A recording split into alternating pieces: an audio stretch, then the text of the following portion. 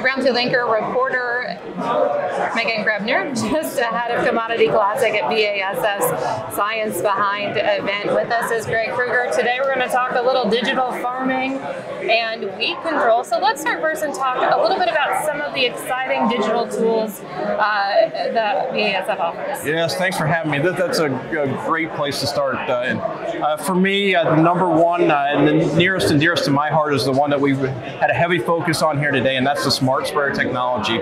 And we've got now a tool that's coming to give us uh, precision weed control. So we can actually go out and target the weeds with the right product at the right rate, at the right dose, at the right time. And so uh, we're, we're, getting to a level of precision that we've never seen in ag before.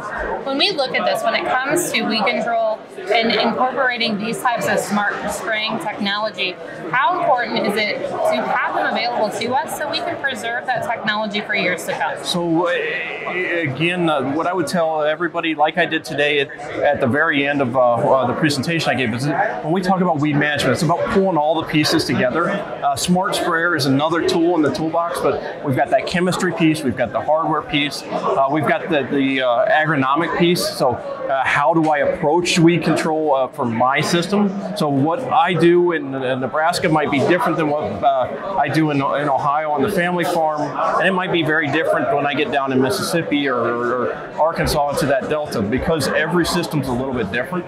So it's about having a tool in the toolbox that gives me greater flexibility in how I uh, make that application. When you look at the challenges that weed pressure and uh, the, those difficult and tough to control weeds face on farmers, eh, if you had to rank, where do you have weed control and, and smart uh, farming practices like the smart sprayer in in the, the like in the importance of the future of agriculture? So I think the, uh, those are both key uh, cornerstones. Uh, I think uh, it's, it's about bringing all the pieces together, uh, using, you know, uh, I give the example, my dad is collected yield data off the farm for 20 years. But what do we take? What do we do with that yield data? How do we use that? And now, uh, when we think about smart sprayer, it's the same thing. We're going to be collecting weed maps and uh, uh, weed application maps, and how do we use that data to inform future decisions? And I think that's the exciting piece of where we're where we're headed with that. To me a little bit about um, the, the pipeline of technology and all of this data. How do farmers use it in the future? So, uh, part of our vision uh, around that is trying to automate that as much as possible. Uh, farmers have a lot of decisions to make over the course of a season, and what we really like to do is create a, or what we're working towards is creating a tool that will help automate some of those decisions. So, uh, taking some of the decisions in terms of uh, of, of what and when and how to apply and, and, and automating those decisions.